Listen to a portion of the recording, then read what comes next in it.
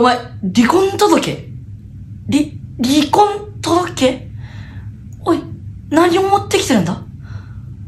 あとは、俺が、ハンコを押すだけ？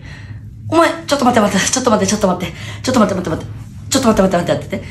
どういうこと？どういうこと？子供はどうすんの？家事はどうすんの？子供は引き取るから、さようなら。待って待って待って待って。待ってママ。ママ待って。何を言ってるんだ？俺はす、なんていうの？え？なんで？耐えられない。待って。俺はコミュニケーションの一環で怒ってたり、ちょっと強く言ってただけだよ。ママママママママやめて！離婚は嫌だ！離婚だけは嫌だよ！え、どういうこと？どういうことママ？何を言ってんの？子供と俺は離れたくないって。ママとも離れたくないって。え？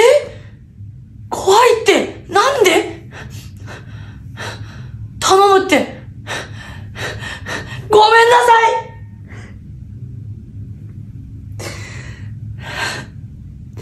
い。ごめん。ママごめん。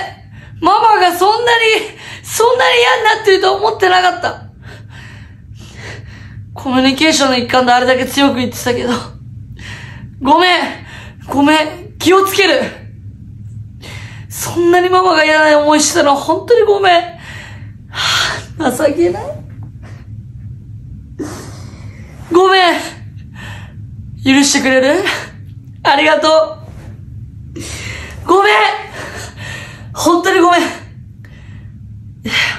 びっくりしたよ離婚届はびっくりするっていや、ごめん。そんなに嫌な思いしてたのね。